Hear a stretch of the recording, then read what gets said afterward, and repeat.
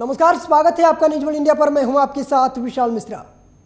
Bulletin की शुरुआत करते हैं। पहली खबर, हाथरस से है जहाँ शिक्षा मित्रों के सम्मेलन में भाग लेने पहुँचे शिक्षा मंत्री संदीप सिंह ने शिक्षा मित्रों का हर कदम साथ देने का वादा किया।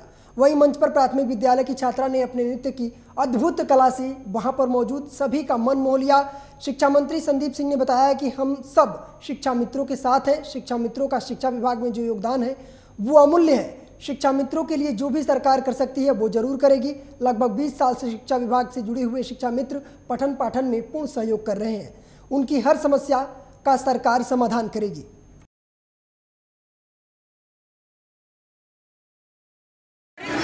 सब लोग शिक्षा मित्रों के साथ हैं और शिक्षा मित्रों के हित के लिए जो जो बेहतर कार्य किया जा सकता है सरकार हर एक उचित कार्य को कर रही है। बेसिक शिक्षा विभाग के परिवार का हिस्सा शिक्षा मित्र हैं और हम सब शिक्षा मित्रों का जो योगदान हमारे बेसिक शिक्षा परिवार में है वो बहुत अमूल्य है। बीस लगभग 20 वर्षों से शिक्षा मित्र हमारे विभाग के साथ जुड़े हुए हैं और विभाग के पठन पाठन के कार्य में अपना योगदान दे रहे हैं। तो हम सब सरकार में का हिस्सा होने के नाते हम सब लोग जो बेहतर प्रयास किया जा सकता है शिक्षा मित्रों के समर्थन के लिए हम सब लोग हर उचित कार्य कर रहे हैं। अभी आधा सत्र आधा सत्र बीत चुका है और अभी तक बच्चों की पहुँच से दूर है किताबें स्कूलों में। क्या कारण रहा है? देखिए लगभग अब सब जगह किताबों की जो समस्या थी वो पूरी कर ली गई है। इस वर्ष क्योंकि चुनावी वर्ष होने के नाते जो किताबों के टेंडर की प्रक्रिया वो शुरू से ही थोड़ा सा विलम्ब हो गई थी। अगली खबर हरदोई से है, जहाँ कोतवाली शहर क्षेत्र में रिकवरी के लिए गए बैंक ऑफ़ इंडिया के मुख्य शाखा प्रबंधक से मारपीट करने का मामला सामने आया है। साथ ही लोडेड राइफल तानकर धमकाया भी गया है। वहीं इस मामले में बैंक कर्मियों ने शहर कोतवाली पुलिस पर सहयोग न करने का आरोप लगाया है और प्रदर्शन कर जिला प्रशासन और पुलिस को एक ज्ञापन दिया। इस ज्ञापन में कहा गया है कि आरोपी पर दर्ज मुकदमे में धाराएँ बढ़ाई जाएँ, साथ ही उस आरोपी को 24 घंटे में गिरफ़्तार कर जेल भेजा जाए।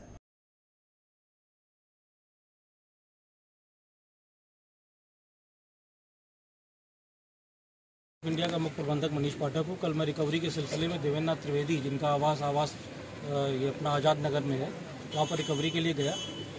करीबन आधे घंटे बाद वो क्योंकि घर पे नहीं थे आधे घंटे बाद उनकी पत्नी ने बुलाया तो वो घर पे आए। बाइक को रोक करके सीधे घर पर गए और राइफल से हमारे ऊपर हमला कर, कर किया। इससे राइफल को सटा दिया। फायर मिस हुई अदरवाइज़ मैं कल जीवन जीवन नहीं बचा पाता अपना।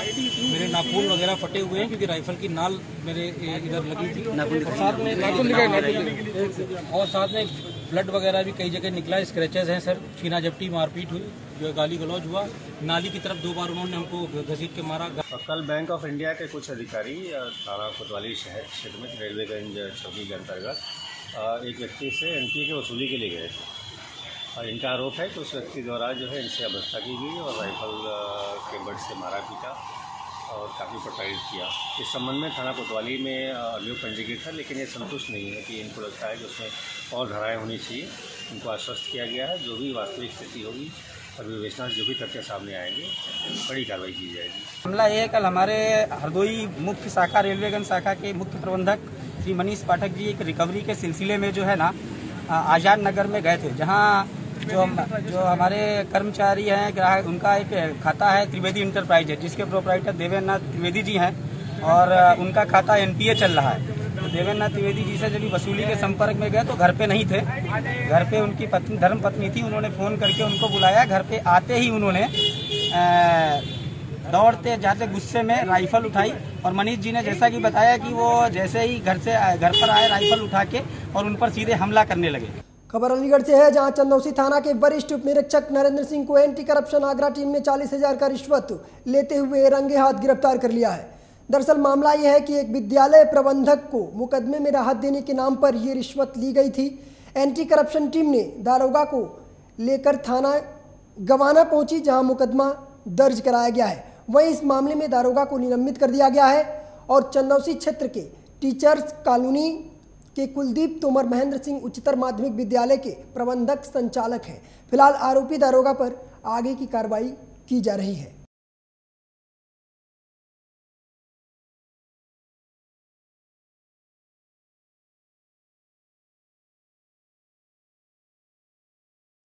अगली खबर बांदा से है, जहाँ परिवहन विभाग ने ट्रैफ़िक पुलिस के साथ मिलकर चेकिंग अभियान चलाया। दरअसल, स्कूली बच्चों के जीवन के साथ खिलवाड़ कर रहे ई रिक्शा पर प्रशासन ने हिदायत दी है। साथ ही विद्यालय प्रशासन और बच्चों के अभिभावकों को भी हिदायत दी गई है, जिसके बाद प्रशासन की कार्रवाई से अवैध रूप से स्कूली बच्चों को ले जाने वाले वाहन संचालकों में हड़कंप मच गया है। एआरटीओ ने कहा कि बच्चों के जीवन के साथ खिलवाड़ करने वाले वाहनों पर सख्त कार्रवाई की जाएगी। कि आप जानते हैं कि बच्चों का जो आवागमन होता है स्कूल से घर तक, उसको सुरक्षित बनाना है। ऐसी स्थिति में जनपद बादा में ये स्थिति है कि ई रिक्शा पर बच्चों को बहुतायत संख्या में ढोया जाता है, उनको यात्रा कराया जाता है। और वो ओवरलोडिंग भी होते हैं, जहाँ ई रिक्शा वाले जो गाड़ियाँ होती हैं, वो यातायात नियमों का पूरी तरह से उल्लंघन करती हैं, क्योंकि वो ओपन बॉडी की होती है, ड्राइवर के पास अनुभव नहीं होता है और उसमें जो है अगल बगल सीटें बना लेते हैं। इससे जो है, दुर्घटनाओं की संभावना बनी रहती है। इसी के दृष्टिगत ऑटो और ये ई रिक्शा जो ओवरलोडिंग कर रहे हैं जिनकी गाड़ियाँ सही नहीं हैं, जो बच्चों को ले नहीं जाने के लिए अनुमन्य नहीं है, उनके विरुद्ध आज हमने कार्रवाई किया। खबर अलीगढ़ से है, जहाँ लंबे समय से अलीगढ़ मथुरा रोड पर गाड़ियों को रोककर उगाही करने वाले लुटेरों को पुलिस ने गिरफ़्तार कर लिया है। वहीं पूरे मामले का खुलासा करते हुए पुलिस ने दो आरोपियों को जेल भी भेज दिया है। बाकी आरोपियों की पुलिस तलाश कर रही है।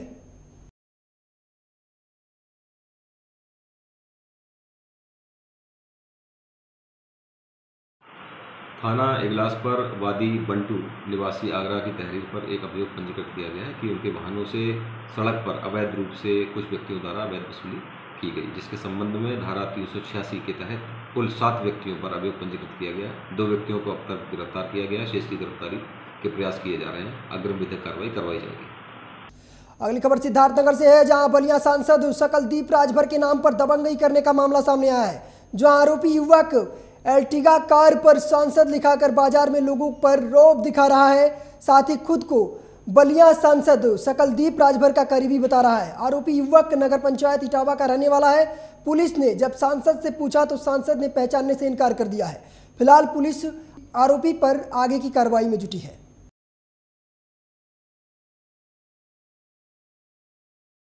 खबर अमेठी से है, जहाँ दो तेज रफ्तार बाइकों की आमने सामने जोरदार टक्कर हो गई, जिसमें एक बाइक सवार की मौके पर ही मौत हो गई और वहीं इस घटना में एक महिला और बच्ची घायल हो गए हैं। जिन्हें जिला अस्पताल में उपचार के लिए भर्ती कराया गया है। वहीं अमेठी पुलिस का एक मानवीय चेहरा देखने को मिला। जब एंबुलेंस को आने में देरी हो रही थी तो घायल बच्ची को जायज़ थाने के सिपाही ओम प्रकाश मौर्य ने खुद गोद में लेकर उसे अस्पताल ले जाने के लिए तैयार हुए। जिसके बाद कुछ ही, अभी दस कदम ही चले थे कि एंबुलेंस आ गई, फिर बच्ची और महिला को अस्पताल भिजवाया। फ़िलहाल दोनों का इलाज चल रहा है। अगली खबर नैनीताल से है, जहाँ सरोवर नगरी और उसके आसपास मूसलाधार बारिश को देखते हुए जिला अधिकारी धीराज सिंह गर्ब्याल ने 16 सितंबर तक एक से लेकर के बारहवीं कक्षा तक अवकाश घोषित कर दिया है। दरअसल सरोवर नगरी नैनीताल में मूसलाधार बारिश रुकने का नाम नहीं ले रही है। वहीं मौसम विभाग ने भी नैनीताल ज़िले में भारी बारिश होने की संभावना जताई है।